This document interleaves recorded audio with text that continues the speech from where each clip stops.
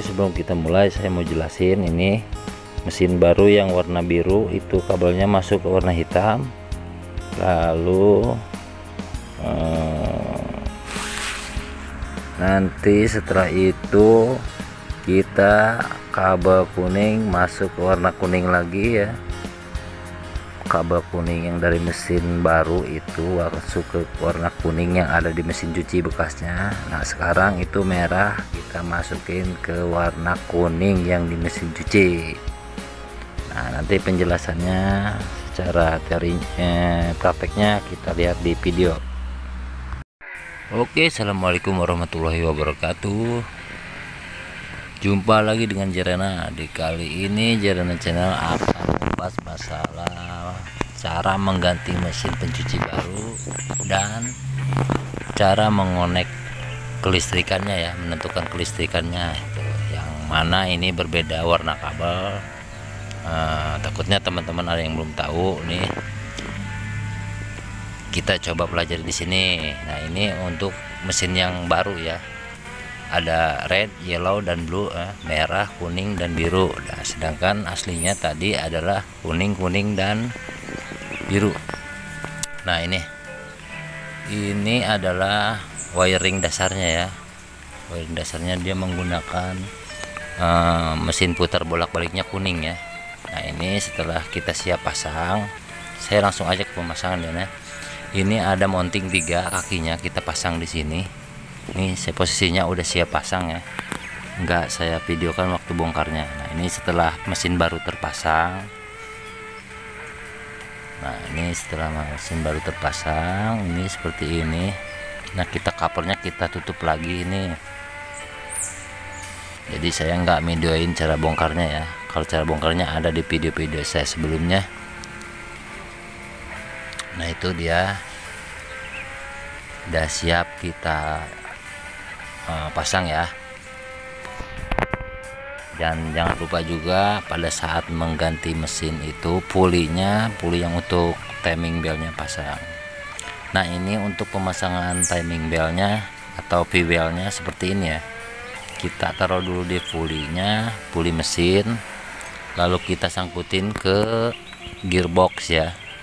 Dan kita langsung putar aja ke kanan. Nanti dia akan uh, menyesuaikan sendiri ya dengan relnya nah ini untuk detail pemasangannya adalah nah kita copot kabel ini yang hitam ya. Sorry tadi yang saya bilang itu uh, kabel dasar yang power lama itu bukan biru hitam ya. Kabel powernya kamennya itu hitam yang mesin lama. Nah sekarang mesin baru itu warnanya biru ya sesuai di wiring diagram yang tadi di depan video ya di awal video. Berarti biru ke hitam nih kita pasang. Biru ke hitam kita pasang. Kalian bisa menggunakan cara seperti ini atau menggunakan isolasi ya nggak apa-apa. Ini biar kelihatan rapi aja saya pakai lagi. Bagian yang putih-putihnya sambungan itu. Nah ini adalah merah. Merah itu kita gabung ke kuning nah, yang yang jalur lama kan ada kuning-kuning ya yang ke kapasitor itu kita patokannya yang ke kapasitor aja kuning-kuning itu berarti untuk bolak-baliknya ya atau running-runningnya yang warna birunya common atau power ya. Nah, yang sekarang bagian uh, kuning lagi ya. Soalnya uh, mesin yang baru ini ada tiga kabel warna biru, merah sama kuning. Nah, yang biru itu intinya power, yang merah dan kuning ini uh, untuk bolak-baliknya. Jadi, yang merah sama kuning yang di mesin itu bebas mau bolak-balik ke kapasitornya yang kuning yang mana ya. Mau dipakai yang kuning yang mana, yang bawaan mesin cuci oke ini udah kita rapiin jangan lupa ini tali seling untuk pembuangan kita pasang lagi ya. Biasanya banyak teman-teman yang lupa atau saya juga pernah ngalamin ya. Nah oke setelah kita coba pasang kita coba untuk running ya.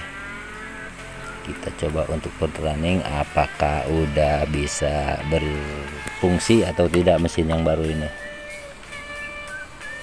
Nah ini coba kita putar timernya. Nah Alhamdulillah kan jalan. Jadi teman-teman jangan bingung intinya kalau ada kabel warna yang berbeda itu teman-teman jangan bingung. Kalau di mesin cuci bagian pengering eh pencuci ini dia eh, selain power itu kan ada dua ya. Jadi eh, itu bisa bolak-balik. Bolak-balik bisa. Ya yuk kita coba.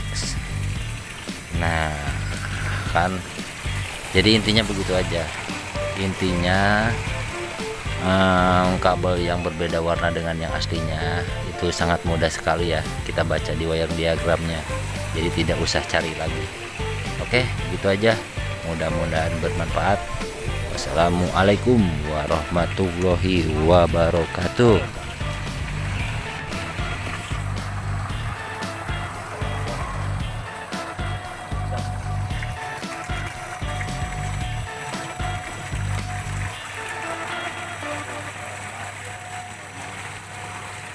А, не раз это нормально.